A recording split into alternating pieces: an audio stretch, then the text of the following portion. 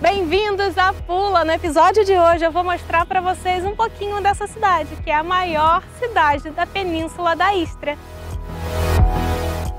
A cidade de Pula é mais uma das cidades maravilhosas da costa croata. O que difere esta cidade das outras é o número de monumentos do período romano. Chegamos ao Fórum de Pula. Bom, é a praça principal desde a época dos romanos. Aquele templo, por exemplo, é do século II a.C. O Templo de Augustus, em homenagem ao primeiro imperador dos romanos. A atração mais conhecida é o símbolo da cidade, a Arena de Pula é um anfiteatro romano, considerado um dos mais antigos e mais bem preservados do mundo.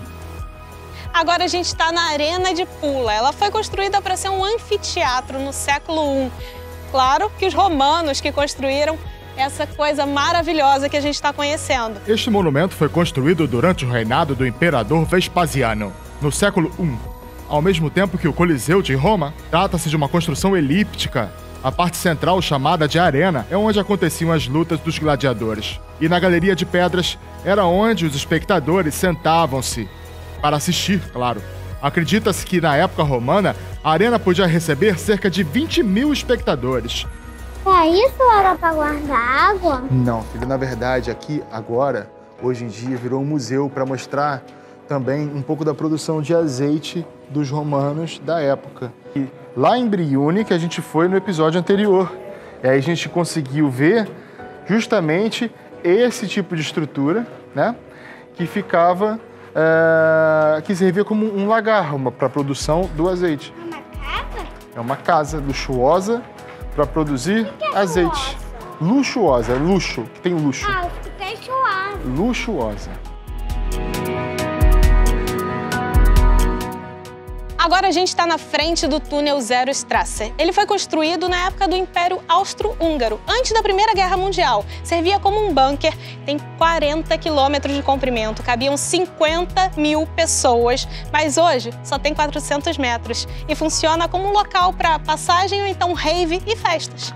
Agora a gente está numa construção feita pelos venezianos. Bom, essa construção foi feita para proteção da cidade. Os venezianos ficaram aqui durante algum tempo e por isso precisavam proteger essa terra. Você consegue ver mais ou menos essa construção e arquitetura pelas paredes abaluartadas. A fortaleza foi construída pelos venezianos no ano 1630. Como Pula era um porto importante na época, o castelo foi erguido para proteger a cidade.